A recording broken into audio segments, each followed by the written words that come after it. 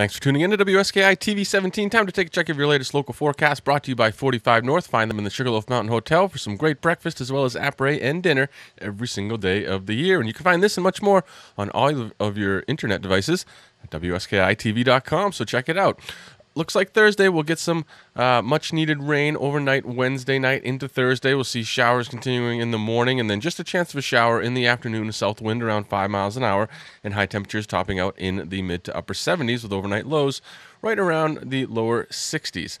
Friday, we'll see that sunshine return and an outside chance of some showers. So just keep your eye to the sky. 30% chance of showers uh, isn't too much to worry about. West wind around 5 to 10 miles an hour, so that should be noticeable. And high temperatures in the lower to mid 70s. Looking ahead towards the weekend, it's looking like a good one. Partly sunny skies for Saturday and Sunday. A bit cooler temperatures, a high of only 68 on Saturday.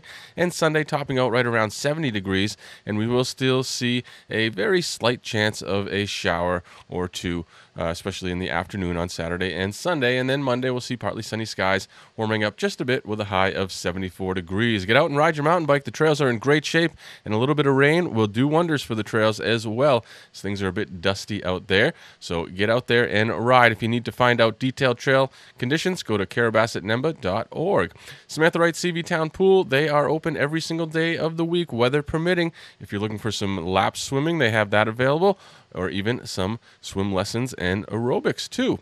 Sugarloaf Sports and Fitness Center, they've also got a pool indoors. They've got hot tubs, uh, weight room, racquetball courts, massages, and also a great cafe down there with some great eats and deals as well. So be sure to check them out right off a Mountainside Road. Carrabassett Public Library. Check them out as well. They've got playgroup every Thursday at 10:30, and those are their summer hours there. A great uh, facility here in the valley. Also, the Rack. If you're looking for some great barbecue, some great après, or some great live music, or even trivia on Thursdays go check out the rack right at the bottom of the access road.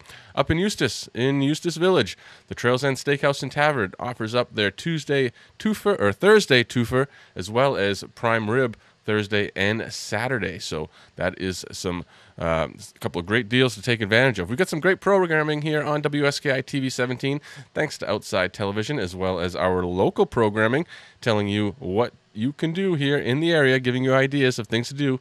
Each one of those a reason to stay another day.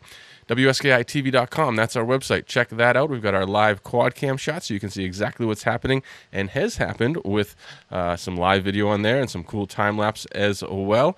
And we've got lots of ideas of things to do to keep you busy here in the Maine High Peaks region on our website, as well as our social media pages Facebook, Twitter, and Instagram.